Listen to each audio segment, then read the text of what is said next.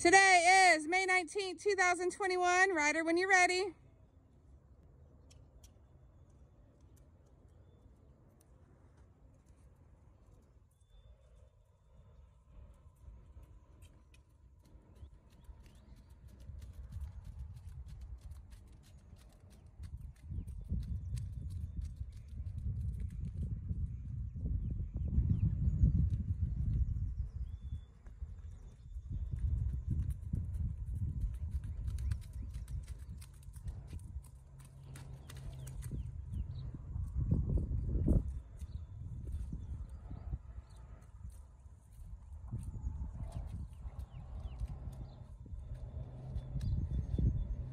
Thank you, exhibitor.